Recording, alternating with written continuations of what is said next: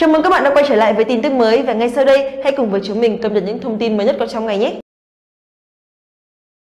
Cô dâu 65 đăng ảnh đập tan tin đồn xích mích với cô dâu 62, cư dân mạng. Hai con búp bê bị hư của Việt Nam. Như thường lệ, bất kỳ bài đăng nào của cô dâu Nguyễn Thị Hoa cũng bị cư dân mạng vào chửi mắng thậm tệ. Dù là hai người xa lạ nhưng vì cảnh ngộ lấy chồng trẻ khi ở độ tuổi ngoài 60 nên cô dâu 62 tuổi Thu Sao và cô dâu 65 tuổi Nguyễn Thị hòa dễ dàng trở nên thân thiết. Trong lần và Đồng Nai gặp nhau, từ hoàn cảnh của mình Thu Sao khuyên cô Hoa nên bỏ ngoài tai dư luận để giữ hạnh phúc.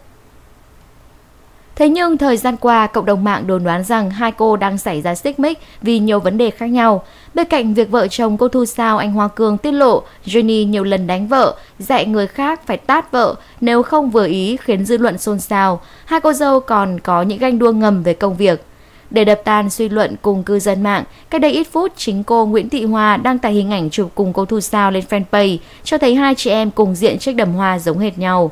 Cô Hoa viết chú thích Hai chị em mình cùng hữu duyên lấy chồng trẻ với tình yêu không phân biệt tuổi tác. Chị già hơn em, nhưng may mắn là lấy chồng trẻ hơn em cũng vui, tình yêu không biên giới.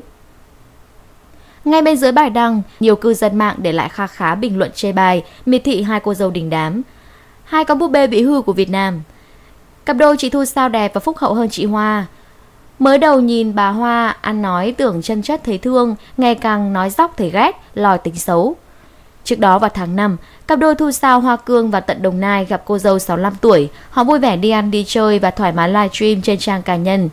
Người ta cho rằng hai cô dâu này có nhiều điểm tương đồng như đã trải qua một đời chồng, yêu và kết hôn chồng trẻ kém hàng chục tuổi và đều gây xôn xao cộng đồng mạng.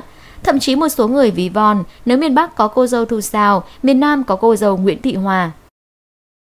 Cảm ơn các bạn đã xem video, chúng mình là tin tức mới và đừng quên nhấn like, share và subscribe để cập nhật những tin tức mới nhất có trong ngày nhé. Xin chào và hẹn gặp lại!